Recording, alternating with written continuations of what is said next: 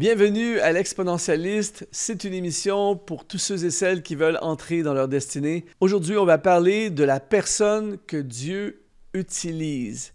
Je vais te partager dans les prochaines minutes des clés pour devenir une personne que Dieu utilise. D'ailleurs, si tu veux faire partie de ces personnes que Dieu utilise, eh bien, on peut déjà commencer à écrire dans les commentaires Seigneur, sers-toi de moi, je veux être utilisé par le Seigneur, je veux être utilisé par Dieu. N'hésite pas à euh, bombarder dans le chat, je lis tous les commentaires et à chaque fois mon cœur est touché et béni de voir tous les commentaires des gens euh, qui nous écrivent. Parfois on écrit également de quel endroit on est, donc n'hésite pas, tu peux remplir le chat, faire des commentaires, bénir et euh, surtout dire Seigneur, sers-toi de moi.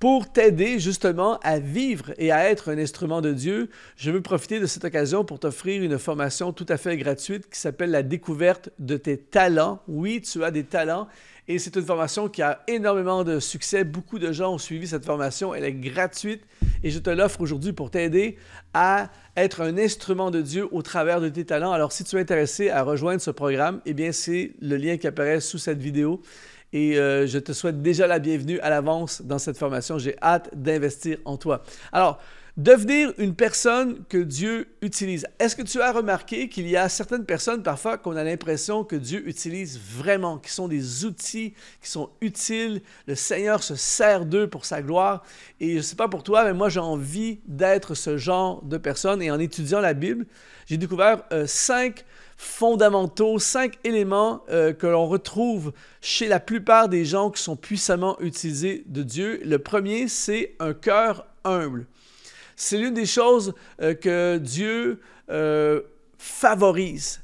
Lorsque Dieu choisit un homme, une femme, eh bien, il regarde au cœur. C'est pour ça que quand on regarde l'histoire de David, par exemple, qui était un très grand instrument euh, de Dieu, eh bien, ça dit que l'homme, ça dit dans le passage de la Bible, nous dit que l'homme regarde à ce qui frappe les, les yeux, mais Dieu regarde au cœur. Et c'est pour ça qu'il a vu un homme selon son cœur en David. Et donc, Dieu cherche des cœurs humbles. Il ne cherche pas des gens qui pensent être capables ou qui veulent prouver qu'ils sont capables. Il y a beaucoup de gens comme ça. Il y a une expression en anglophone, en anglais, qui dit euh, euh self-made person, une personne qui euh, s'est faite par elle-même. On, on, voit ça souvent, un self-made millionnaire. Il est devenu millionnaire par lui-même. Et euh, il y a beaucoup de gens qui ont cette attitude, euh, même euh, qui veulent prouver. Et on voit ça souvent, malheureusement, dans le ministère, tout ça, des gens qui veulent prouver quoi que ce soit. Et Dieu n'est pas impressionné par cette attitude. Ce qui attire le cœur de Dieu et qui fait en sorte qu'on devient un instrument de Dieu, c'est des cœurs humbles qui dépendent totalement de Dieu. Il nous dit dans Jacques chapitre 4 au verset 10, Humiliez-vous devant le Seigneur et il vous élèvera. Humiliez-vous et il vous élèvera. Euh, en hébreu, le mot, euh, quand on parle ici de, s'humilier, d'humilité, le mot hébreu, c'est le mot anav, qui parle vraiment de quelqu'un qui a une force intérieure et qui reconnaît, et voilà le punch, qui reconnaît sa dépendance totale à Dieu. Alors si tu veux, toi, euh, aujourd'hui devenir ce genre de personne que Dieu utilise, eh bien, sois une personne avec un cœur humble qui dit, Seigneur, je n'y arrive pas sans toi. Avec toi, je ferai des exploits, mais je dépends de toi. Et plus on est dépendant de Dieu, plus Dieu va se servir de nous. On pense par exemple dans l'Ancien Testament à Moïse. Moïse a été un méga instrument entre les mains de Dieu, mais on voit que ce n'est pas par ses propres forces. Même quand Dieu l'a appelé au buisson ardent, Moïse était réticent, ne se sentait pas à la hauteur, je n'y arriverai pas, je n'arrive pas à parler, tout ça. Et donc, ce n'est pas par ses forces, par ses capacités, par son charisme. Euh, par son, ses diplômes ou son expérience qu'il a fait ses exploits pour Dieu. Il est devenu un instrument de Dieu parce qu'il avait absolument besoin d'une intervention de Dieu. Alors la personne que Dieu utilise est une personne euh, avec un cœur humble. L'émission que tu regardes en ce moment est rendue possible grâce à des sponsors qu'on appelle les activateurs de destinée. Si tu veux toi aussi nous aider à continuer à diffuser ces émissions pour rejoindre le plus grand nombre, eh bien tu peux aujourd'hui devenir un activateur de destinée. Tout ce que tu as à faire, c'est d'aller dans le lien qui apparaît dans la description de cette vidéo. De retour à ton émission.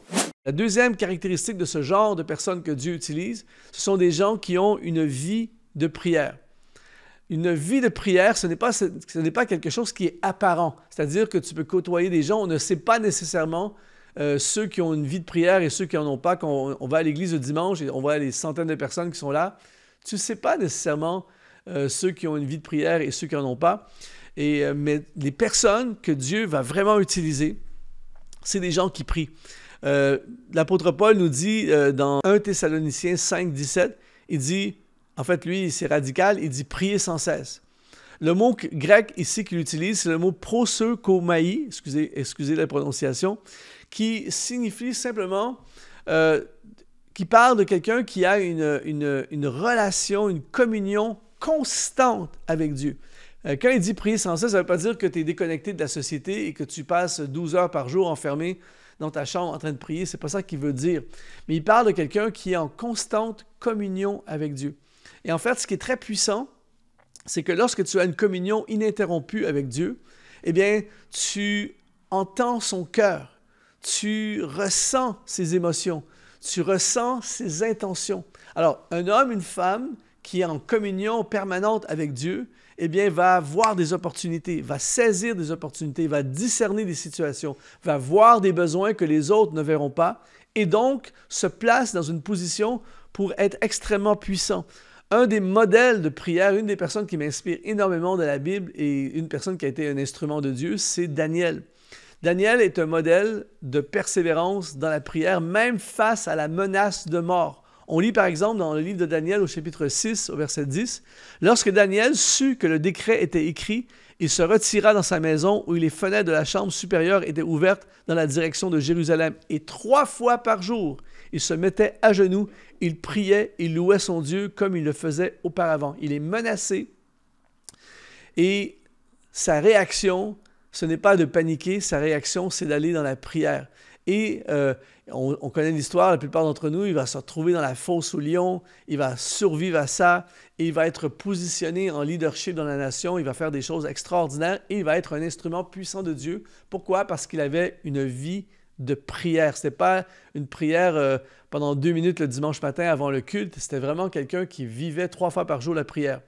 Je lisais il y a quelque temps l'histoire d'une femme extraordinaire qui s'appelle Corrie ten Boom, qui a euh, caché euh, pendant la Deuxième Guerre mondiale, qui a caché des Juifs et qui s'est retrouvée elle-même dans les camps de concentration. Et elle parlait beaucoup de l'importance de la prière et elle a dit ceci, elle dit, ne priez pas quand vous sentez le besoin de prier. Faites de la prière votre priorité de chaque jour. Wow! Et elle aussi, Corrie ten Boom, comme Daniel, comme plusieurs autres, a été euh, une femme utilisée puissamment par Dieu et c'était une femme qui avait une vie de prière. La troisième caractéristique des gens que Dieu utilise puissamment, c'est des gens qui ont une foi inébranlable. La foi est vraiment euh, inhérente, elle est essentielle pour être une personne que Dieu va utiliser parce que pour être utilisé de Dieu, il va falloir faire des choses parfois qui ne sont pas logiques, des choses qui vont demander Bien justement de la foi. Le mot foi en grec, c'est le mot pistis, qui veut dire confiance totale et engagement total envers Dieu indépendamment des circonstances. C'est pour ça qu'il nous dit dans Hébreu, l'auteur du livre aux Hébreux au chapitre 11, au verset 6, nous dit, Or, sans la foi, c'est fort, écoute bien ce verset, Or, sans la foi, il est impossible de lui être agréable. C'est fort. Pour être agréable à Dieu, ça prend de la foi. C'est la foi qui, fait toute la différence. Alors Dieu cherche des hommes et des femmes de foi. Il ne cherche pas nécessairement des, hommes et des femmes qui sont ultra talentueux, plus talentueux que les autres. Il cherche des gens qui ont la foi. Les héros de la foi dans la Bible ont tous ceci en commun. Ils ont agi, ils ont fait des pas de foi en dépit de ce que voyaient leurs yeux. C'est-à-dire que ce n'est pas ce que leurs yeux voyaient qui a défini ce qu'ils ont fait c'est la foi qui ont défini ce qu'ils ont fait. Évidemment, on, ne passera pas à côté d'Abraham, qu'on appelle le père de la foi, euh, qui, a eu euh, qui n'avait pas d'enfant et en, âge euh, très avancé, qui est devenu le père d'une multitude et qui a fait des pas de foi énormes. Et Abraham a été un homme puissamment utilisé par Dieu et au travers de l'histoire, encore aujourd'hui, il est un instrument de Dieu. Son histoire est une inspiration de foi. Et sa, sa caractéristique numéro un, eh bien, c'était une foi inébranlable. Et c'est pour ça aujourd'hui que si toi et moi, on veut devenir des hommes et des femmes que Dieu utilise puissamment, eh bien, on a besoin d'activer notre foi, de mettre notre foi en opération et de devenir des, des, gens qui ont une foi inébranlable. Je suis beaucoup inspiré par les, euh, les, les, hommes et les femmes de l'histoire qui ont fait des choses pour Dieu, qui ont été des instruments de Dieu. J'ai lu beaucoup euh, sur ces personnages et un, entre autres, dont je parle régulièrement et qui m'a beaucoup, beaucoup inspiré, à chaque fois que j'ai lu son histoire, tout ça, c'est Hudson Taylor, qui est devenu euh, un des grands missionnaires qui a révolutionné en fait la mission euh, en Chine, qui était un exemple de foi. Il est parti à une époque, c'était pas comme aujourd'hui, il est parti à une époque euh, au 19e siècle, il est parti en Chine, euh, il connaissait rien, il connaissait pas le langage, il a appris, il a consacré sa vie littéralement à la Chine. Et il a dit ceci, il a dit, les grandes choses pour Dieu sont faites par ceux qui s'attendent à de grandes choses de Dieu. En d'autres mots, des gens qui ont la foi. Alors aujourd'hui, on veut devenir des hommes et des femmes utilisés par Dieu. Eh bien, étape numéro 3, la foi inébranlable.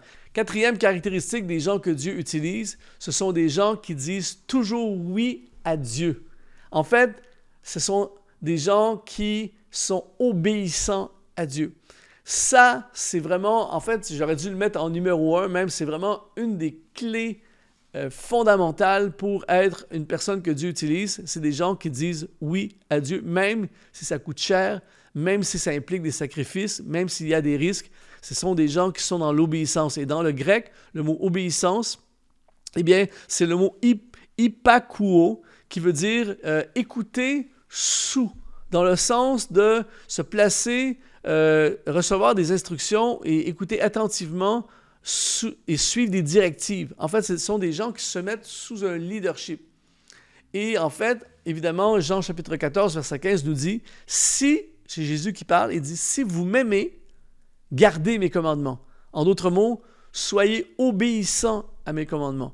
Et il y a plein de gens, j'ai vu au travers, de, au travers des années, des gens avec des très grands potentiels, des gens extrêmement talentueux, des gens avec des grands appels sur leur vie, mais peu d'obéissance, alors que j'ai vu des gens euh, beaucoup plus limités dans leurs ressources, beaucoup plus limités dans leur, euh, dans leur talent et leur potentiel, mais faire des exploits pour le Seigneur et être des instruments entre les mains de Dieu. Pourquoi? Parce qu'ils obéissaient à Dieu. Quand Dieu demandait quelque chose, ils le faisaient. Et quand je pense à obéissance, je pense à Noé dans l'Ancien Testament. Dieu va lui demander de construire une arche dans un monde où il n'avait peut-être jamais vu la pluie. C'est quand même un truc de fou. Construire un bateau, euh, je, dis souvent, construire un paquebot dans le désert. Ça demande une méga obéissance. Et Noé n'a pas discuté, n'a pas négocié avec Dieu. Dieu lui a demandé, parfait, on se met à l'œuvre et on construit l'arche. Et donc, c'est ce genre de personnes que Dieu utilise puissamment. Et la cinquième caractéristique de ceux que Dieu utilise puissamment, c'est un cœur pour servir. Dieu ne cherche pas des stars, Dieu cherche des serviteurs.